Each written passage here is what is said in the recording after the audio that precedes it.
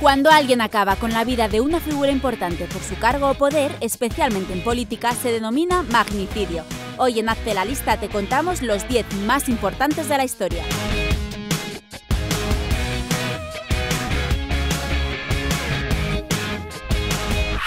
Un discurso a favor del sufragio negro fue suficiente para que John Wells Booth irrumpiese en el palco de Lincoln y le asestase un tiro en la cabeza. Lo peor de todo, si el guardaespaldas del presidente hubiera cumplido su trabajo permaneciendo en el pasillo, el asesinato podría haberse evitado. Pero por desgracia se encontraba en el patio de butacas disfrutando de la representación.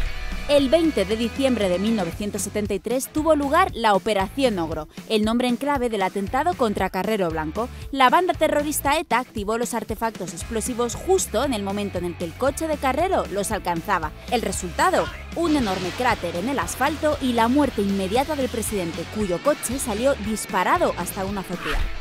La lucha de Martin Luther King por los derechos civiles y la igualdad racial le hizo ganar un Nobel de la Paz y el cariño de todos sus seguidores. No es extrañar la conmoción del país cuando le dispararon en la cabeza mientras saludaba desde el balcón del motel Lorraine. Ocurrió el 4 de abril de 1968 y desde entonces es día festivo en Estados Unidos.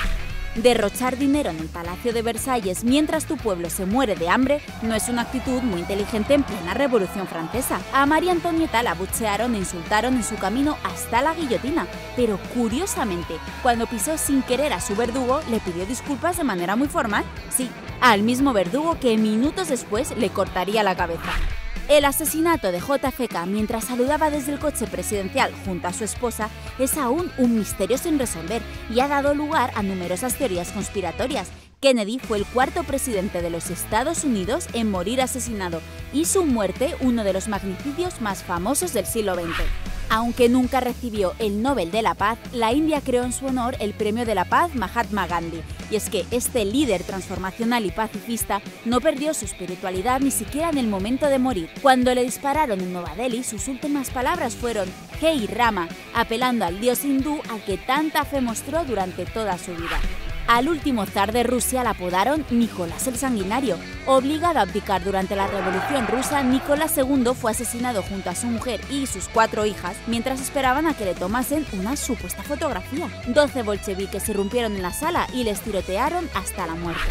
Indira Gandhi fue la primer mujer ministro de la India. Aunque tuvo la unidad de la democracia más poblada, el miedo a un levantamiento la llevó a actuar con dureza y a ganarse muchas antipatías. Fue traicionada por dos de sus guardias, recibiendo cuatro disparos en el estómago y tres en el pecho, desencadenando la peor crisis política desde su independencia.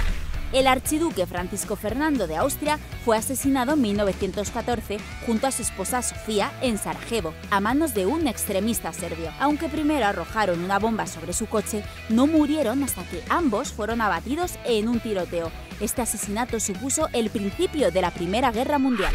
23 fueron las puñaladas que recibió Julio César por parte de los miembros del Senado, aunque solo una de ellas, y probablemente la segunda, resultó mortal. Al desplomarse el emperador cayó junto a la estatua de Pompeyo y fue allí donde lo recogieron tres esclavos antes de ser incinerado. Thomas Hobbes popularizó la famosa frase El hombre es un lobo para el hombre, y después de esta lista tenemos que darle la razón.